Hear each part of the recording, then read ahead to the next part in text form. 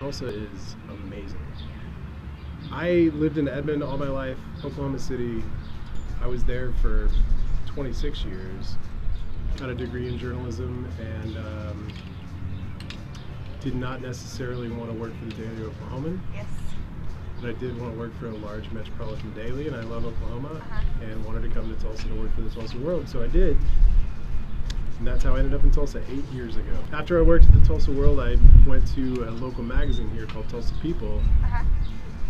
and my wife was a graphic designer there. There's a lot of culture here that is, it's just cool to live here.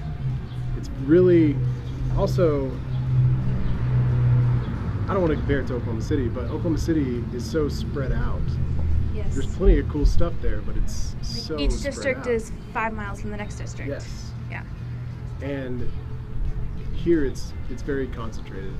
This has grown organically. Like it didn't need a tax initiative. A couple blocks that way is uh, Guthrie Green, hmm and God bless George Kaiser.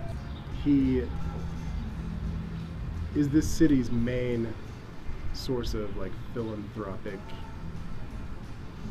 Let's make the city better and cooler. And Guthrie Green, I think, if I'm not mistaken, what we hear right now is coming from there. But it's this public park. Everything that's there is free for anyone to come to. It's just amazing. Mm-hmm. There's a big stage and a big sound system. Underneath the, the ground there is. I shouldn't even talk about this because I don't know the science behind it, but it's some sort of newfangled way to get energy naturally and it like powers buildings around it. It's it's all just so wonderful.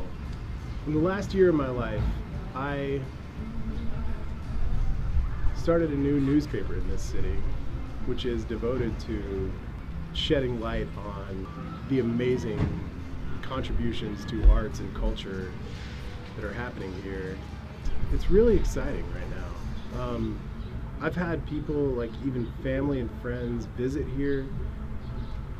Next month is Tulsa Tough. It's the greatest thing that ever happened to Oklahoma. On the third day of Tulsa Tough, Crybaby Hill is in this neighborhood this way.